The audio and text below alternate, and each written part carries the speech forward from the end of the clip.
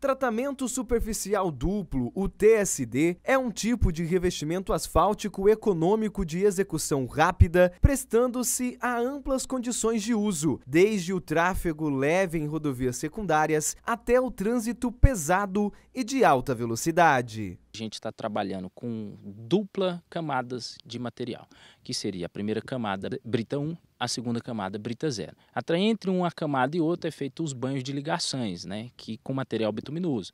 E no final a gente faz uma, uma camada final, que é a camada com pó de pedra, com um último banho também de ligação. Este revestimento é flexível e de pequena espessura, o que chamou a atenção dos moradores onde a obra está sendo realizada. A administração pública está preferindo trabalhar sim com esse método. É um método mais rápido, é um método mais simples também e traz 100% de qualidade. Não é a primeira vez que a administração realiza esse tipo de trabalho na cidade. A pavimentação asfáltica do bairro Mato Grosso também foi feita através do tratamento superficial duplo. A qualidade do TSD a gente está falando de terraplanagem. É, o que garante 100% a qualidade do TSD é a terraplanagem. A terraplanagem bem feita, que é uma base, uma subbase, que é o que? O cascalho. A gente fazer a camada, fazer uma, uma compactação bem devida, com os níveis de compactação certo.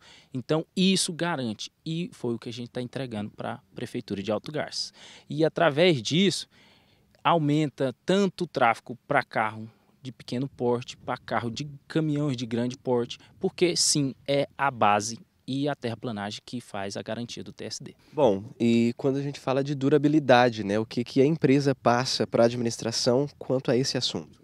É, a durabilidade do TSD a gente está falando aí de cinco anos tranquilo. Obviamente, a gente tem suas manutenções devidas, mas de cinco anos a prefeitura está tranquila.